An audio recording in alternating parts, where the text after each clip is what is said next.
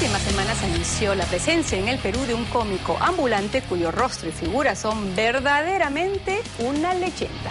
Nos referimos a Lorenzo Zubiate Mondonguito, quien vive en Italia desde hace aproximadamente nueve años. Por razones aparentemente personales, Mondonguito no llegó esta vez, pero dicen sus allegados que su retorno a tierras peruanas es inminente de cara a este anhelado reencuentro con sus fans. Nuestro productor periodístico Alonso Gamarra preparó un breve reportaje en homenaje a este mondonguito a la italiana. Veamos. Hola, te saluda Mondonguito. Esta cara no necesita de mayores presentaciones. Te cuento que con ella también salen unos efectos muy hermosos, por eso que ha quedado así. A estas alturas de la vida y de la risa, su duro y expresivo rostro son casi casi un hilarante e indescifrable emblema de la marca Perú. Yo quiero arcilla. ¿Para qué quiere arcilla usted, señor? Arcilla quiero para moldear algo hermoso. pero no se preocupe, acá lo moldeamos, señor. Con arcilla todo Saque la lengua, saque la lengua. Ahí, ahí está. A ver, a ver. ¡Ay, así parece un teletubby! Lorenzo Subiate Mondonguito fue el primer cómico ambulante en llegar a la televisión. Pero qué mamacita. Préstame tu repisa para poner mis adornos. Pero cuando las puertas de la señal abierta fueron clausuradas para él y sus compañeros, la suerte y la necesidad lo obligaron a cruzar el mundo hasta la bella y lejana Italia. Volaré.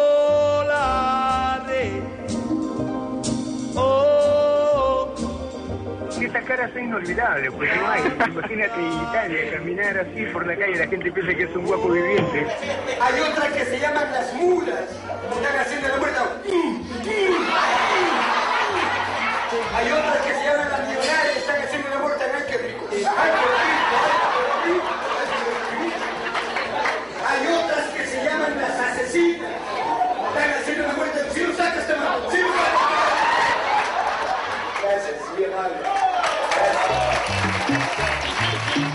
En las Europas, con todo el condimento aprendido en las calles peruanas, Mondongo continúa con el noble oficio de hacer reír pese a los recuerdos y la distancia. Mientras abraza el eterno sueño de retornar tarde o temprano al sufrido país que hace un cuarto de siglo conquistó a punta de carcajadas. Lo que todo el pueblo nos recuerda. Eh, la esencia del ambulante, que es lo más importante que. Presentamos al ambulante de la risa.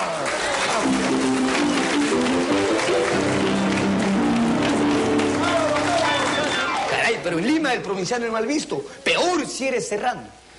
Si eres de la sierra, no falta el achorao, el pituco, el vivo en Lima, si ora con el, serrano, o el serrano, o el guanaco, vuelve a tu galaxia. Pero ese cholito viene y triunfa porque el cholito trabaja, él no tiene vergüenza, nada. Caramba, se levanta a las 3 de la mañana, él despierta al gallo. ¡Fla! Gallo con sueño, ¿qué carajo?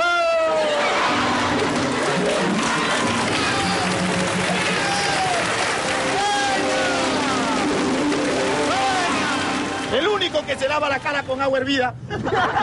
Dame, compadre. Con petróleo. El Chucky de la comicidad. ¿Sí o no, compadrito? Ajá. Cara, ¿no? No, tumor. No es que cara. Él está conmigo, ¿está bien? Contar la historia de Lorenzo Subiate, Mondonguito, es contar la historia misma de la comicidad ambulante en el Perú. Un picante género humorístico que para inicios de los 80 había conquistado las principales plazas del centro de Lima. Allá estaba, por ejemplo, trabajando el Finau Tripita. Acá bajo el monumento. Acá era su sitio de Tripita. Para allá estaba, para allá estaba Mondonguito. Para mediados de esa década, los nombres de Tripa, Mondongo, el Cholo Cirilo y el Poeta, entre otros, llenaban con facilidad plazas y parques.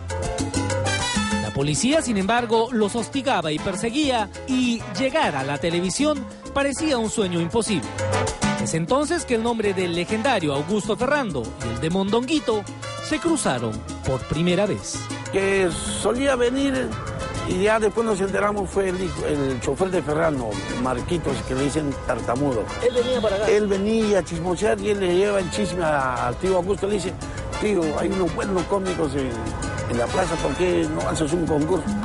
hijito, no, no sé que de repente me está... No, entonces lleva a Mondongo.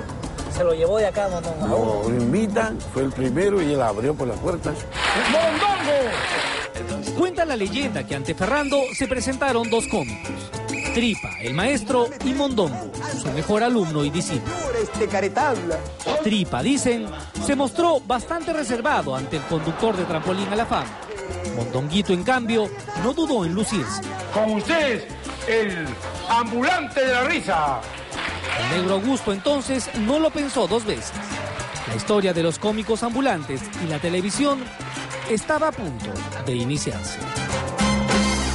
Este es el cómico. A ver qué haces, hijito. Acá te vas a hacer famoso. Para que la gente te reconozca en la calle. Así nomás, hijo. Porque te trampolín a la fama. Pero ahora ha visto cómo piden propina, van achorados, maleados. Oye, viejo, saca beneficio. Apura o te cuadro, vete, desgraciado. Porque el Inca no era así. El Inca era trabajador, aguerrido, luchador. Ese era el Inca. ¿Tú crees que en el tiempo los Incas existían cabros? No. No habían. ¿Tú crees que Sinchirroca, Maitacapa, Mancocapa era homosexual? ¿Tú crees que Atahualpa le decía Mancocapa? Mancocapa. Ay, Mancocapa, hazme un hijo. No.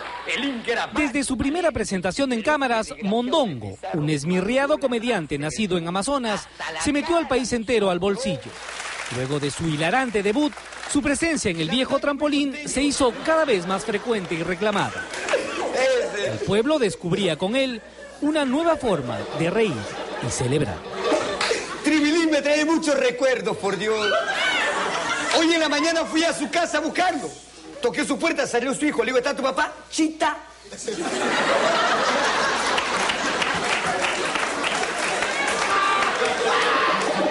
Porque en Lima todo es jerga, ya no hablan castellano. Hasta la ropa le han cambiado de nombre acá. Al zapato no le llaman zapato, le llaman taba, taberna, tabernícola. Al pantalón, lompa, lomplay. A la camisa, mica, micaela, micanrol. Al saco, cascarón, tortuga, ¿qué te crees, vamos? Al reloj, bobo, paila. A la sortija, tuerca. A la corbata, soga. Serás burro para que te jale. Al papá, viejo cocho. A la mamá, vieja cocharca. A la abuela, bisagra, puerta, ¿qué cosa es? Negrita, si eso fuera tu olla, por mi madre que yo me vuelvo lechero. La sintonía lo decía todo.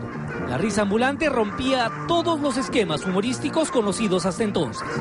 Las puertas para el resto de sus compañeros estaban abiertas.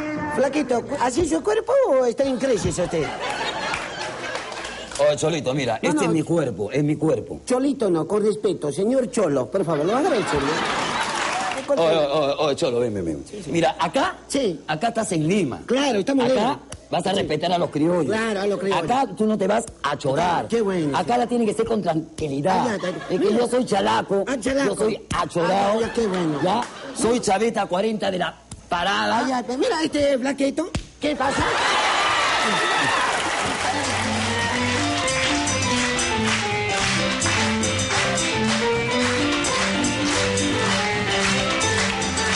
El rotundo éxito televisivo de los cómicos ambulantes, pronto llegó el evento que todos reclamaban, el primer concurso nacional de este tipo de artistas callejeros.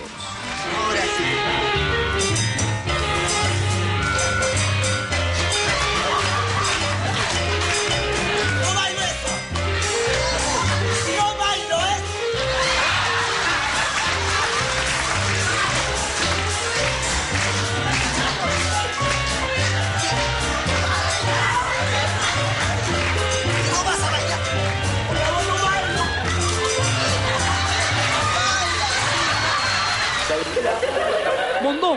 cómico pionero de la televisión, quedó en segundo lugar. un ratito. No, no araña, gorila, no sé.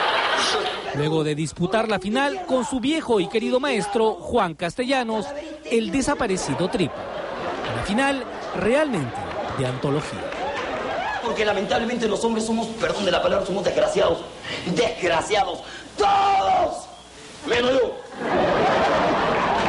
Yo estoy estoy orientando, yo estoy orientando. Porque, perdón, señorita, señora, escuche bien cuando un hombre chamulla una costilla, cuando quiere que se le entregue, escuche que algún día a su hija se lo van a hacer. Que no, que no. Reza que yo no vaya a tu barbe,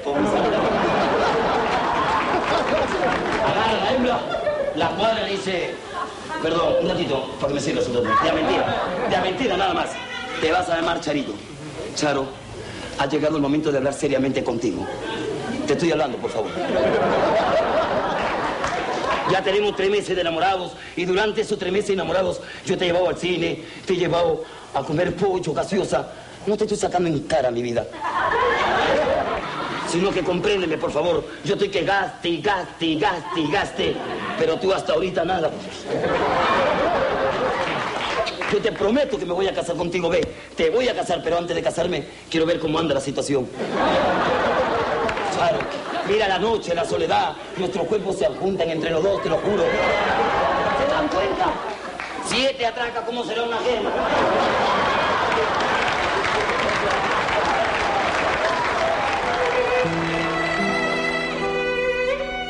Cuando Augusto Ferrando murió, muchos pensaron que el futuro de la comicidad callejera sería incierto. Y vaya que lo fue. Amigos, continuamos en el programa y continuamos con los ambulantes de la risa. Pero a fines de los 90, luego de varias exitosísimas reapariciones en el set de Mónica Ceballos, los cómicos ambulantes alcanzaron finalmente y por partida doble el viejo sueño del programa propio. Panamericana Televisión y los ambulantes de la risa presenta Betty la refea, la recontra fea. ¿Hasta dónde será de fea que últimamente la piensan contratar como doble de Magal? la. Interpretada por el monstruo de la comicidad, Mondonguito. Te amo a ti ella. Mondonguito regresó entonces al canal donde vio sus primeras luces televisivas. Ah, ¡Ahí le faltó, profe! Te amo a ti de parte de Iti. ¡Ah! Mira, hijo, la verdad de las cosas. ¿Qué yo cosa? quería decirte toda la verdad en este día. ¿Cuál es? Ni ella, ni ella, ni ella son tu madre. ¿Ninguna son mi madre? Ninguna de las tres son tu madre. Entonces, ¿Sabes quién es tu madre? ¿quién? Nunca te lo quise decir, pero la verdad de las cosas, ¿sabes qué? Yo soy...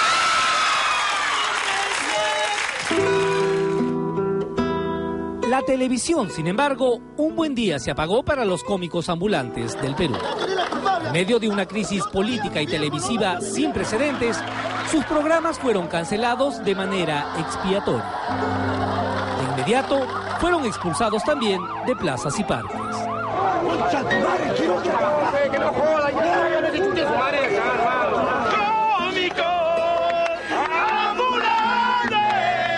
Pobreza, la enfermedad y la muerte de varios de ellos fue el triste epílogo de esta etapa.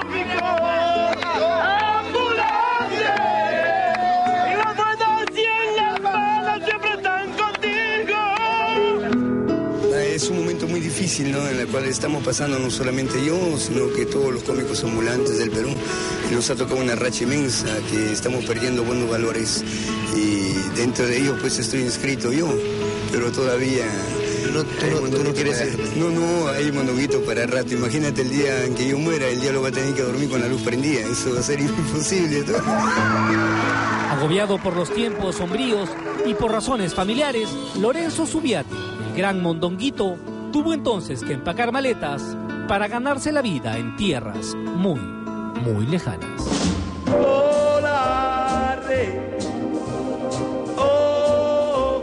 Desde entonces, entre restaurantes y locales para inmigrantes latinos, las buenas artes de Lorenzo Subiate le abrieron paso por distintos países de Europa. Dice que tiene un pata, un patita, que salía borracho, borracho y completamente desnudo. ¿Tú alguna vez has visto correr a un hombre calato por la calle? ¿Has visto alguna vez correr a un hombre calato por la calle? No.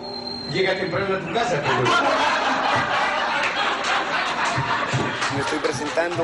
eh, en Madrid esta semana, eh, eh, luego estoy yéndome a Estocolmo, eh, regreso a Italia y seguramente lo más pronto posible esté nuevamente con este maravilloso público latino.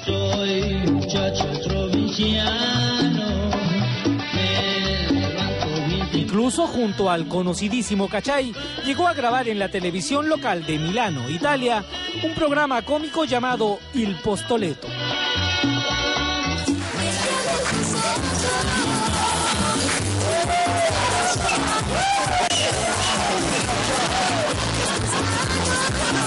Esta ciudad, este curtido comediante, nacido en Bagua hace seis décadas atrás, es dueño también de un pequeño negocio de animación de fiestas infantiles. durante toda su vivencia en la ciudad de Italia. No pica. te lo compro. Te lo venda. Eh, es eh, el éxito más grande en toda la vida de ser como uno es, humilde, eh, dar todo, dar todo a cambio de un aplauso, una sonrisa, que es lo mejor que un cómico puede conquistar en la vida. Me siento eh, un triunfante más.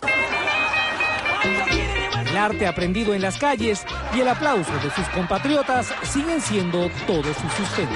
Deberían ser también las contundentes razones para tenerlo finalmente de regreso. Se olviden que muy pronto el retorno de Mondonguito para reírnos con toda la familia. Saludos para todos. Los quiero mucho.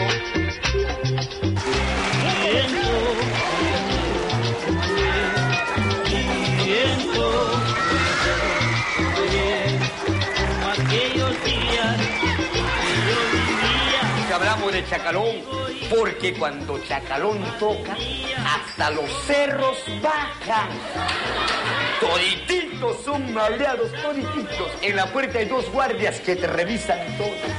Aquel que no tiene corte no entra. Tu corte, ahí está tío. El tuyo no hay, allá te hace.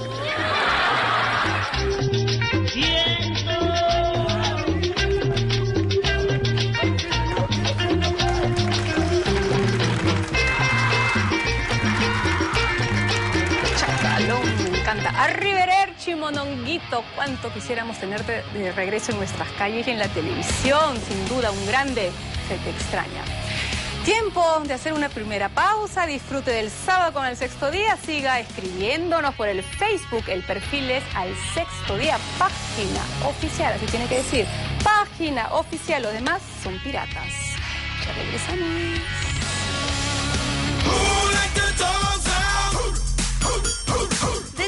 Amo, tal mascota. Estos traviesos, bravucones y hasta eléctricos animalitos han crecido con el cariño de quienes viven rodeados de los flashes y el escándalo. ¡Ay! ¡Ay, cochino! ¿Y para Mayu? ¿Qué hay para Mayu? Bizcocho, culón. Y en exclusiva, Mayu, su controversial integrante, nos cuenta toda su verdad. ¿Contenta con tu sexualidad? ¿Estás feliz como te Sí, sientes? obvio, obvio. ¿Te sientes feliz como Mayu? Yo soy feliz como soy, ¿entendés? ¿Sientes o crees que para una mujer al 100% te falta dar un paso?